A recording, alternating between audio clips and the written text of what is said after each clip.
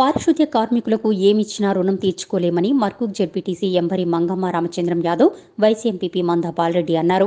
మర్కూక్ మండల పరిధిలోని చేబర్తి గ్రామంలో పారిశుద్ధ్య కార్మికులకు జాలని ఫౌండేషన్ వ్యవస్థాపకులు జాలని బాలనరసయ్య చైర్మన్ జాలని యాదగిరి ఆధ్వర్యంలో బియ్యం నిత్యావసర సరుకులు కూరగాయలు పంపిణీ చేశారు. ఈ కార్యక్రమంలో సర్పంచ్ అశోక్ ఉప సర్పంచ్ స్వామి సారథి ఫౌండేషన్ చైర్మన్ శేఖర్ కార్యదర్శి విద్యా వికాస్ రెడ్డి చిన్ని కృష్ణ నాయకులు జయరాం బాలకృష్ణ పారిశుద్ధ్య కార్మికులు తదితరులు పాల్గొన్నారు. హృదయం ఉండాలి పంచిపెట్టే గుణం ఉండాలి కాబట్టి వాళ్ళు చేస్తున్నారు.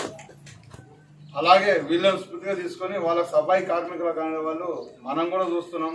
మనము మనం ఊస్తాము అన్నీ చేస్తాం అలా వాళ్ళు అందులో పనిచేస్తున్నారు కాబట్టి వాళ్ళకు ఏదో ఒకటి చేసి వాళ్ళ వాళ్ళను మనం ప్రోత్సహిస్తేనే ఇంకా వాళ్ళు కొంచెం మంచిగా పనిచేసి రేపు పొద్దున వచ్చేది వానాకాలం కాబట్టి గ్రామాల అంతా రోడ్లన్నీ ఖరాబ్ అవుతాయి అందుకు ఎందుకంటే వాళ్ళని కొంచెం మనం ఏదైనా ప్రోత్సహిస్తేనే వాళ్ళు ఇంకా హుషారుతో పనిచేస్తే మనం ప్రజల ప్రాణాలు కాపాడడానికి ప్రతిరోజు గ్రామంలో పారిశుద్ధ్య కరోనాతో యుద్ధం చేయడం అనేది చాలా గొప్ప విషయం.